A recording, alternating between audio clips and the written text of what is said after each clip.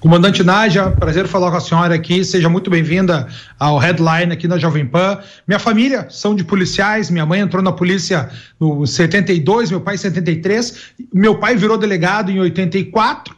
Minha mãe só pôde virar delegada na nova Constituição, porque as mulheres não eram aceitas né, uh, uh, para, alguns, uh, para alguns cargos. E a senhora vem da, da segurança pública, independentemente de homem e mulher, né? Trabalha com a, com a segurança pública, já falou aqui para nós do, do projeto de, de prisão perpétua aí para os bandidos. E aqui, como é uma porta para a gente apresentar as ideias para a população, eu pergunto: qual é a sua. quais são as suas principais bandeiras em concorrendo para o Senado? Já que o Senado aí é essa casa da representação do Estado, né, do Rio Grande do Sul, como um todo, e não apenas do seu povo. Se a senhora pudesse aí fazer um, uma passada geral nas principais ideias, seria de grande, de grande valia para os nossos telespectadores. Com certeza, obrigado pela pergunta, Conrado. Olha só, a segurança pública trabalha intimamente com economia.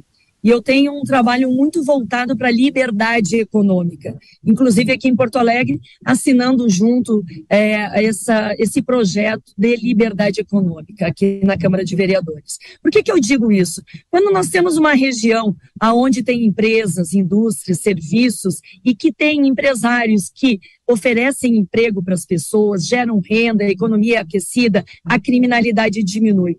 Mas essa balança também é igual para regiões em que acontece o contrário, onde nós não temos emprego, onde não tem geração de renda, onde a economia é fraca, é muito tímida, a criminalidade explode. Então, tratar também o empreendedor como um amigo do Estado é uma das minhas pautas. Nós precisamos é, fazer com que o Estado, se não ajudar, não atrapalhe o empreendedor. E através do quê? Concessões, privatizações, é na questão das parcerias públicos-privadas, reforma tributária que está engavetada desde 2019. Podem ter a certeza de que serei uma senadora que vai empurrar isso para frente.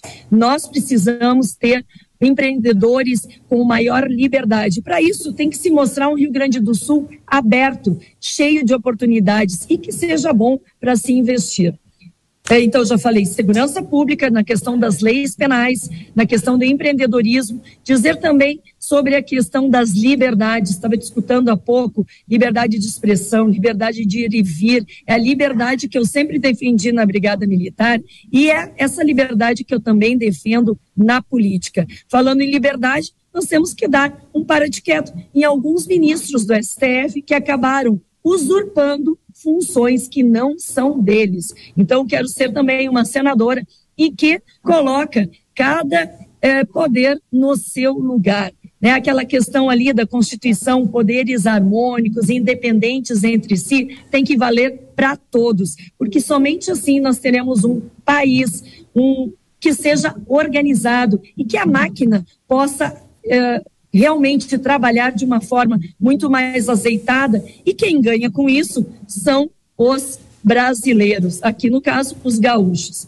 E aí também fazer a questão de uma revisão de que nós precisamos renovar o Senado. O Senado tem que ter pessoas com energia, com coragem, com vontade. Eu falo sempre: se o Senado e já que o Senado não vai para as ruas, eu quero levar as ruas para dentro do Senado. Uma fala muito municipalista. Eu venho do Partido Progressistas, que é um partido municipalista, que cuida sim do município e que tem como base também uma das minhas propostas a questão do pacto federativo. Veja bem, né, eu tenho aqui os dados que é de estarrecer qualquer um que saiba um pouco de matemática.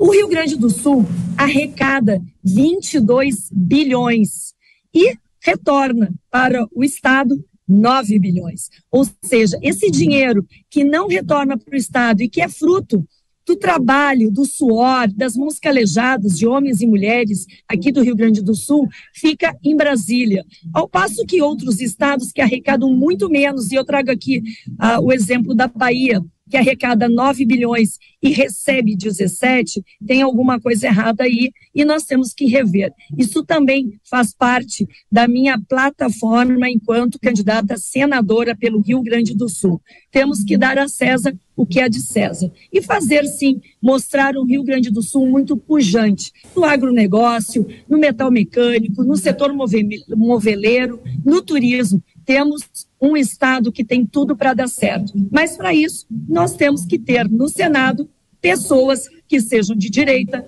conservadoras, pela liberdade econômica e que tratem a democracia realmente como ela tem que ser tratada. Não aquela democracia que na boca da esquerda vira palavrão.